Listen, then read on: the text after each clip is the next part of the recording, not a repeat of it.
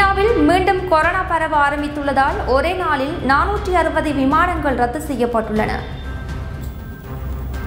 உலகையே அச்சுறுத்தி வரும் கொரோனா தொற்று முதல் முதலில் சீனாவில் கண்டறியப்பட்டது.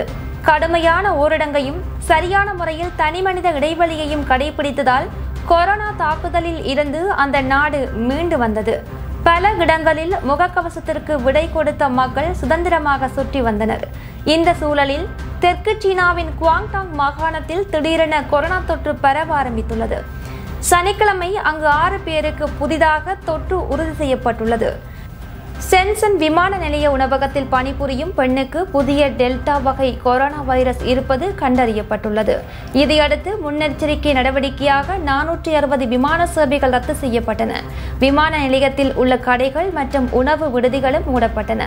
பெண்ணுடன் தொடர்பில் இருந்த நூற்றி பத்து பேரை கண்டறிந்த சுகாதாரத்துறை அதிகாரிகள் அவர்களை தனிமைப்படுத்தியுள்ளனர்.